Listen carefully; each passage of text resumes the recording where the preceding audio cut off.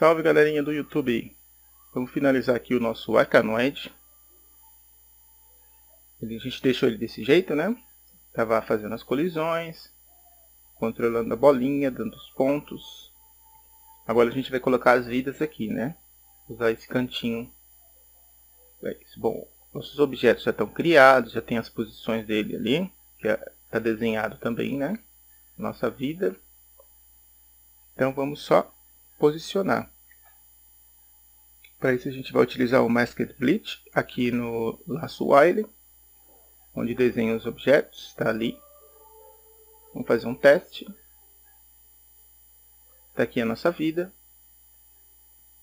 Belezinha. Só que ela ainda não interage, né? Bom, para multiplicar ela, a gente vai utilizar um sisteminha aqui com o laço for. Ele vai começar com zero, enquanto o i for menor que o número de vidas, menos 1, né, porque a gente está usando uma, e mais mais. Vamos criar a variável que i.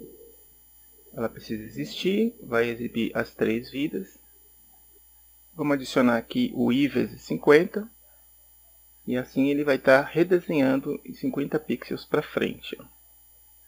Belezinha? Fez as nossas duas vidas aí. Bom, se eu tivesse mais vidas, eu vou colocar uma 9 aqui, por exemplo. Fazer um teste. Ah, ele ia adicionar tanto de vidas aí que a gente colocasse. Um sisteminha bem eficiente aí. Beleza? Colocar 3 de volta. Vamos continuar. Bom, agora a gente vai fazer os inimigos, né? É uma animaçãozinha de três imagens. Aqui no Act Ball, a gente vai fazer o seguinte. Se a posição Y da bolinha for menor que 700, quer dizer que a bolinha passou da nossa nave, saiu do palco, né? a gente perdeu. A nave ela vai sumir, vai para a posição Out. A gente vai perder uma vida. E o play vai passar a ser zero. Não está mais jogando né, por um instante. Vamos ver se a vida some. Belezinha, ó, já está interagindo. Perder de novo, vai para zero. Agora vamos criar uma outra condição aqui, né? Se eu não tiver vidas, se acabou tudo, colocar uma exclamação. Então ele vai, vai esperar 3 segundos e vai chamar o menu.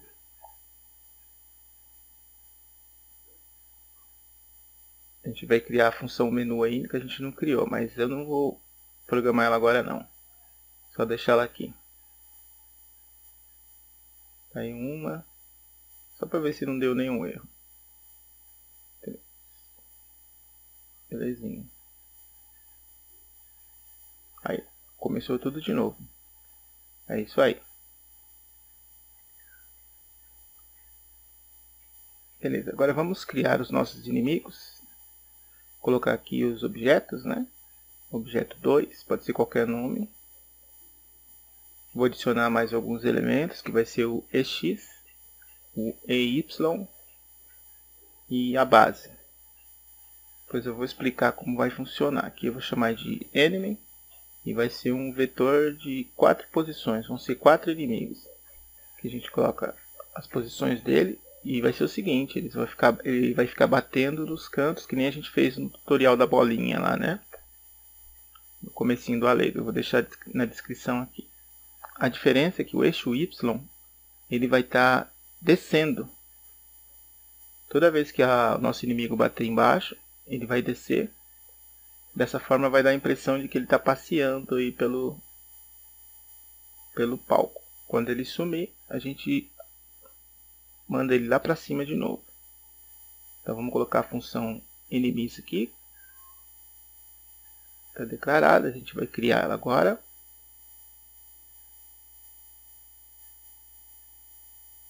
Bem simples. Vamos criar uma variável inteira, né? o i, para a gente fazer um contador. Criar aqui uma outra variável, ela vai se chamar iface, que vai ser a animaçãozinha dos nossos objetos, né? Então vou dizer que ele vai estar, tá, IFACE vai estar tá ganhando sem parar aqui um valor.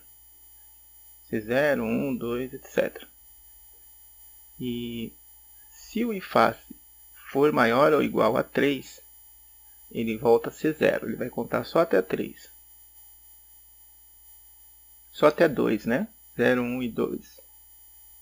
Vai dar 3 do mesmo jeito. Então, aqui a gente vai criar o laço i igual a 0 até o número máximo de inimigos, que são 4, e mais mais.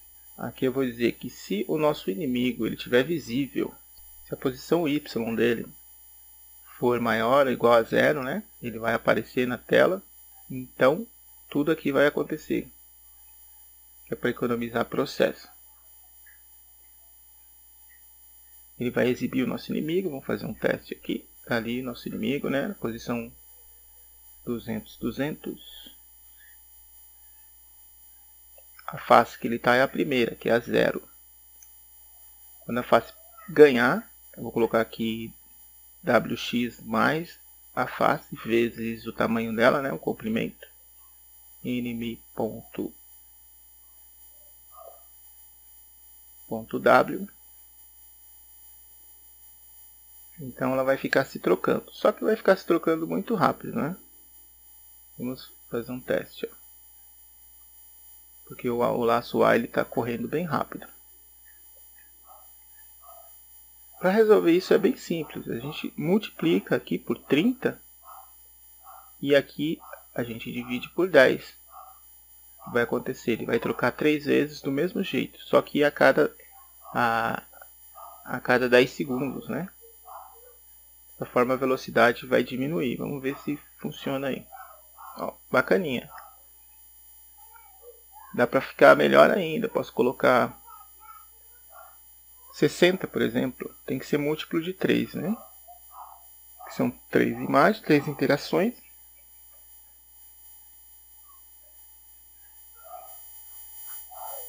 Aí.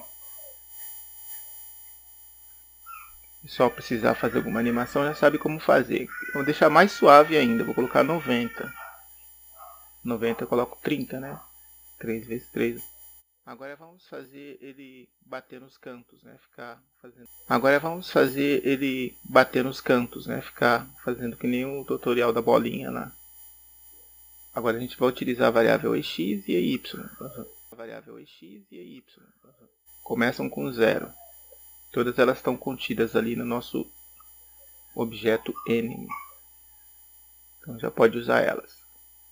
Se ela for menor que 30, está bem no cantinho ali, então ela vai andar para o lado, para a direita.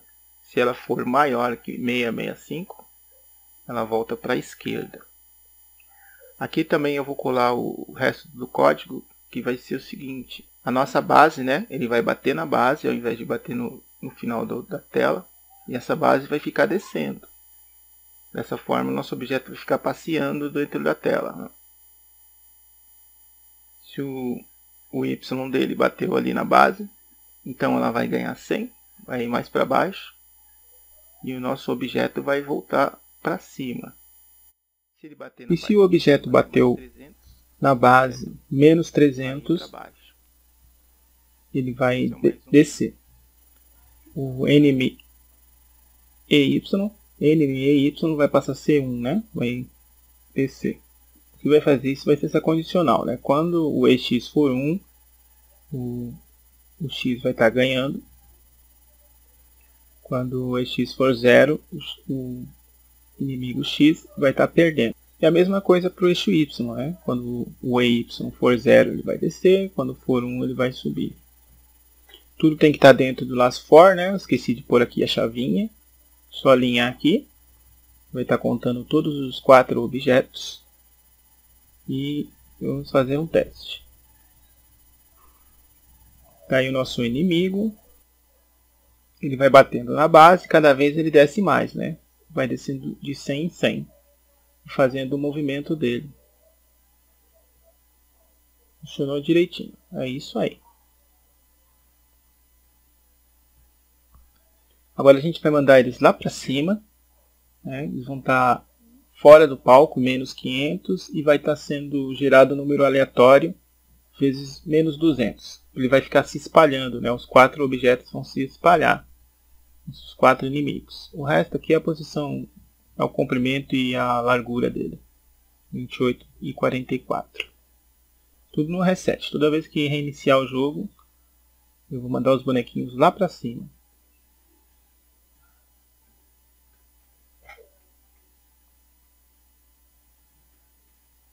Aí nossos objetos, apareceu o segundo. Eles estão se movimentando aí aleatoriamente.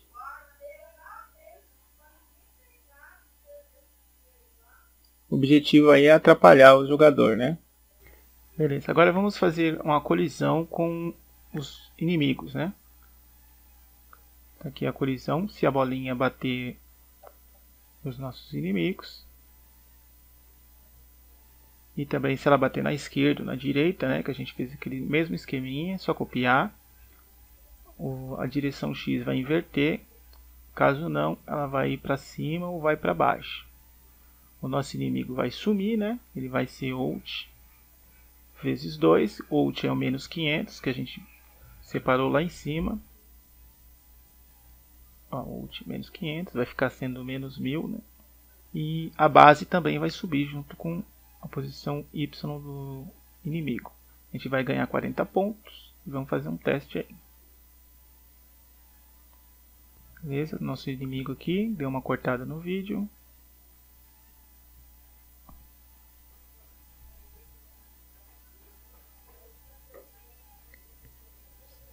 Já atingiu o primeiro, deu os 40 pontos, ele sumiu.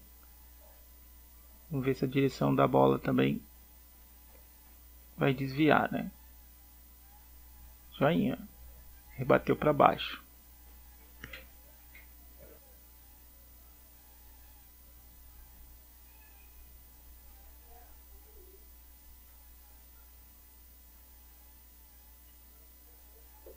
Joinha. Rebateu para frente, para cima, né? Trocou o eixo Y. É isso aí.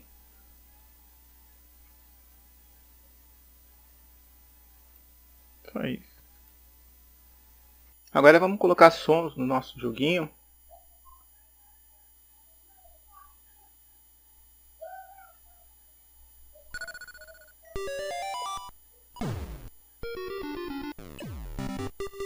Esses sons aqui eu baixei do YouTube, né? Peguei o joguinho lá e fui e recortei eles com Audacity.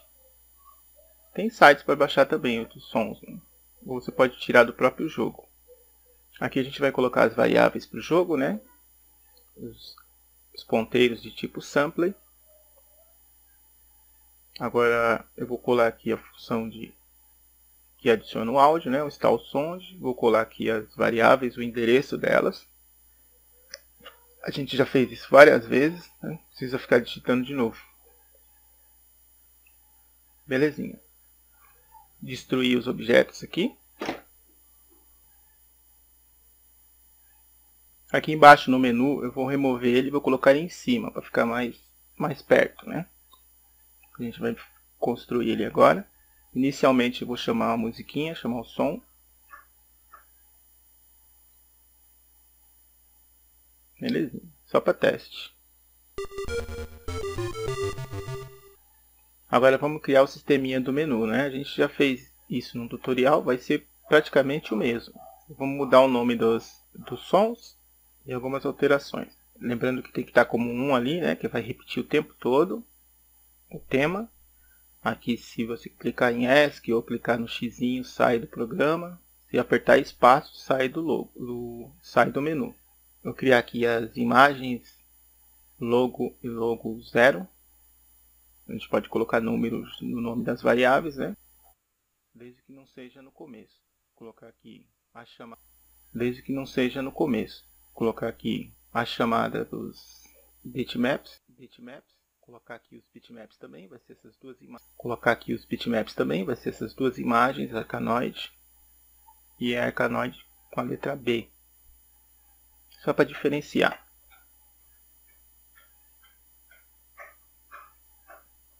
Todos do tipo bitmap. parâmetro no de configuração, a gente colocou IMG, né, porque está na pastinha das imagens. Arcanoid. Vou colocar aqui para destruir também esses objetos. Destrói bitmap. Destrói bitmap. Cada vez que eu vou fazendo um tutorial aqui, eu vou simplificando as coisas. Isso fica meio ruim para quem está começando, né? Então eu aconselho o pessoal que está vendo o vídeo pela primeira vez, ver os outros tutoriais aí que vai ficar bem mais claro. Também aprender outras coisas. Beleza, aqui no nosso menu, quando acabar o tempo de 10, ele vai mostrar uma imagem, quando for 5, ele vai mostrar a outra. E ficar trocando, né? Aqui a gente vai parar o som do tema, que está infinito ali. Quando apertar espaço, ele vai começar o som da intro, da introdução. Vai esperar 7 segundos ali para a intro tocar toda e vai sair do menu. Quando ele sair do menu, que vai ser a primeira coisa que o programa vai fazer, ele vai cair no Restart. Vai posicionar todos os objetos. Vamos fazer um teste.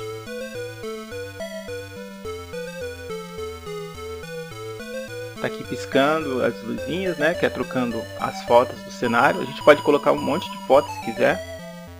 Quem quiser caprichar aí. Apertou espaço, ele toca o somzinho.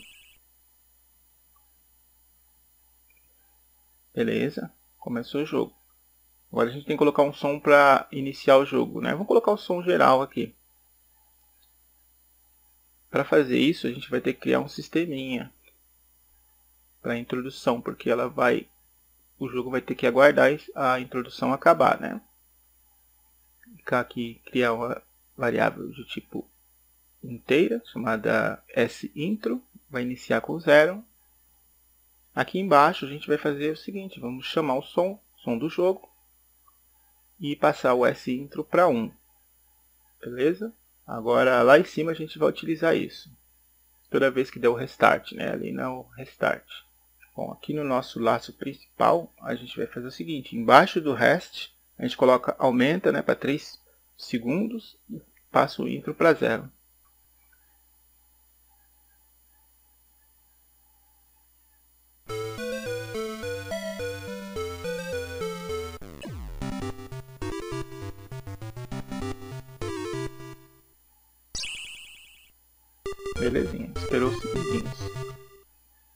Agora toda vez que morrer... Bacaninha. Só que a imagem no comecinho ficou preta, né? Porque o fundo não está aparecendo. A gente vai catar o fundo que está aqui na última e vamos colocar ele lá em cima. Vai ser a primeira coisa. Recortar e colar aqui em cima. Vou testar agora para ver.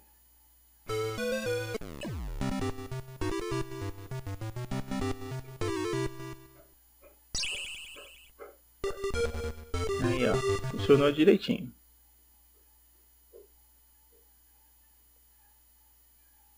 Aí, quando chamar.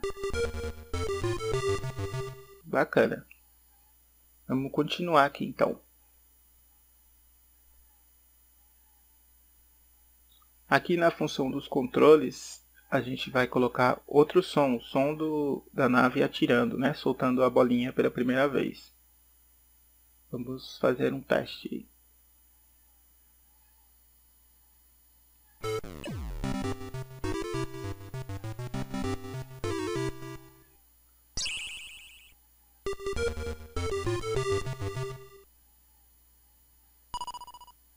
Belezinha.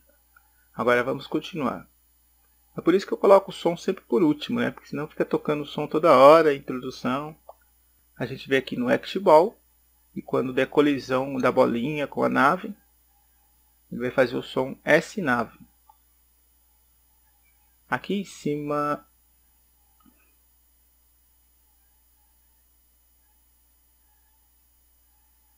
aqui nos inimigos, quando houver a colisão do inimigo com a bolinha, a gente vai fazer o som do inimigo. Mas eu vou colocar aqui quando ele colidir com a nave também, né? Inimigo bateu na nave, também vai fazer o som inimigo SN.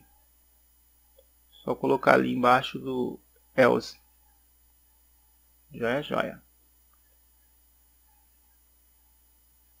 E aqui os blocos, A gente vai colocar o S blocos, o som dos, da bolinha batendo no bloco, na colisão. Embaixo do else também. Belezinha? Vamos fazer um teste.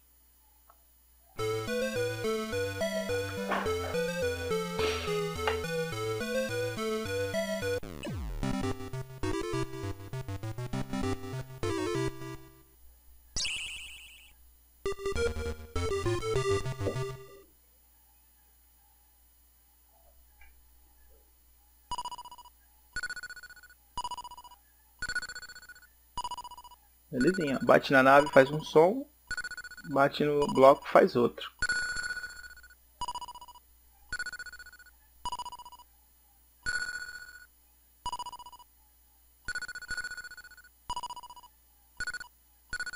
Vamos ver se ele faz som batendo no inimigo.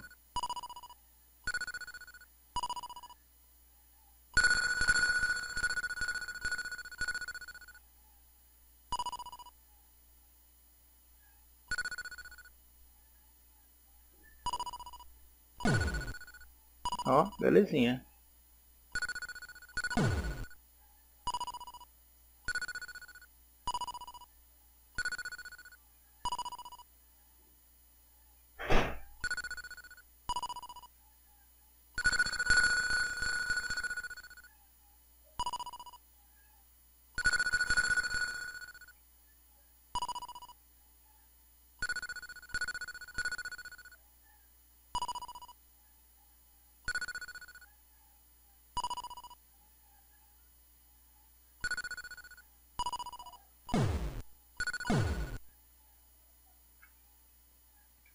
Bacana. Agora vamos aqui na colocar aqui o game over, né? Quando acabar o jogo, acabar as vidas e não estiver jogando, né? O play for false e a vida for false, ele vai exibir game over no centro ali. Só que eu tenho que dar uma pausa aqui também, né? Senão o jogo vai passar batido. O clear ali vai apagar tudo. Acabou a vida de novo aqui. E o play for false, ele vai tocar o som do game over Vai esperar 4 segundos e vai chamar o menu novamente. Belezinha? Dessa forma o jogo acaba. É... Aqui embaixo, nessa parte que perdeu, eu vou remover essa, esse bloco, não vai usar mais, senão vai tocar o som duas vezes. Vamos fazer um teste.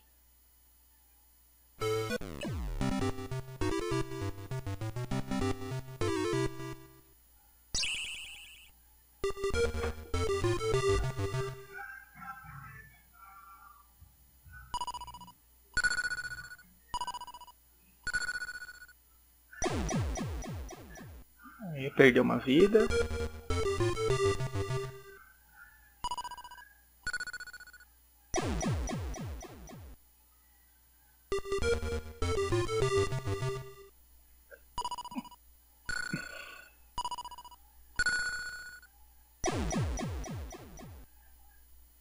Bacaninha.